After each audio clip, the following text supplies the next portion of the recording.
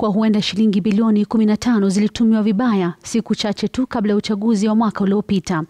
Yatani anasema Nyakang'o anaendeleza unafiki ili kutetea afisi yake chini ya uongozi mpya, na kama anavyoarifu Chemutai Goin, Yatani sasa anamtaka mkaguzi mkuu wa hesabu za serikali kukagua hatua zake kubaini ukweli. Ripoti ya msimamizi wa bajeti Daktari Margaret Nyakang'o kwa kamati ya bunge kuwa alishinikizwa na aliyekuwa waziri wa hazina ya kitaifa Ukur Yatani imevutia kauli mbalimbali kuhusu siku za lala salama za serikali ya rais mstaafu Uhuru Kenyatta. Nyakang'o aligusia malipo ya shilingi bilioni 15, stakabadhi zikiashiria shilingi bilioni sita zilizolipwa katika ununuzi wa kampuni ya Telkom. Hazina ya kitaifa iliidhinisha ombi hilo tarehe 27 Julai mwaka uliopita, na fedha hizo zikalipwa tarehe 5 Agosti.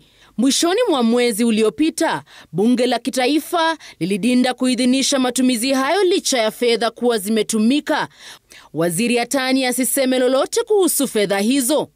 Nyakang'o aliibua maswali kuhusu miradi ya barabara iliyolipiwa shilingi bilioni 9.4 tarehe 5 Agosti mwaka jana baada ya hazina ya kitaifa kuidhinisha matumizi hayo siku mbili pekee kabla ya siku hiyo. Miradi hiyo ilikuwa ni pamoja na barabara ya Lamu kuelekea Ijara hadi Garissa, barabara ya Nairobi Eastern Bypass na daraja la Makupa. Yatani sasa akisema wanakandarasi walikuwa wamejiondoa kwenye miradi hiyo na walihitaji fedha zao kulipwa. Miradi hiyo ilikuwa ya kipaumbele kwa usalama wa taifa, kwani miradi hiyo iko katika maeneo yaliyo na changamoto za kiusalama.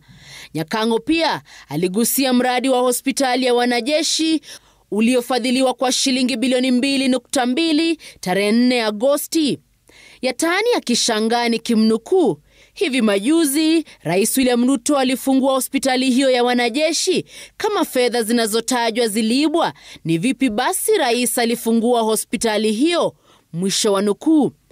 Julai tarehe 29 na Agosti 4 mwaka uliopita, hazina ya kitaifa ililipwa shilingi bilioni 4 kugharamia mpango wa ruzuku ya unga wa mahindi. Nyakang'o aliibua maswali bungeni. On the face of it, it appeared like a noble uh, idea. Uh, everybody would see that the prices of maize flour had gone up, so we were all hoping that the prices would go down, although we never really saw the cheap flour. Katika taarifa yake kwa vyombo vya habari, Yatani hajaeleza kwa kina matumizi ya ruzuku hiyo, isipokuwa kutaja kuwa fedha zilitumika kugharamia ruzuku. Mnamo tarehe mbili Agosti, Rais Uhuru Kenyatta aliwaahidi washikadau wa kampuni ya sukari ya Nzoia kwamba wangelipwa shilingi milioni mia tano kuboresha kampuni hiyo. Tarehe hiyo hiyo, hazina ya kitaifa iliidhinisha fedha hizo na zikalipwa siku tatu baadaye. Yatani sasa akishangaa ni vipi uidhinishaji wa shilingi bilioni 15 utakuwa ukora, lakini uidhinishaji wa shilingi bilioni 127 chini ya serikali ya sasa ni sawa. Ni dhahiri kwamba ni binu anaotumia msimamizi wa bajeti ili kujikinga na serikali ya sasa.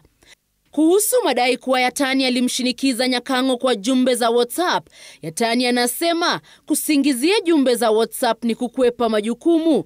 Anafaa aeleze umma ni mara ngapi nilifuatilia kwa kina na kuwa hangeweza kustahimili kasi ya utendakazi chini ya uongozi uliopita. Yatani sasa anaitaka afisa ya mkaguzi mkuu wa hesabu za serikali kuangazia matumizi hayo kwa kina, akisema anaimani hatua zake zitapatikana zilikuwa halali. Chemutai Goin, runinga ya Citizen.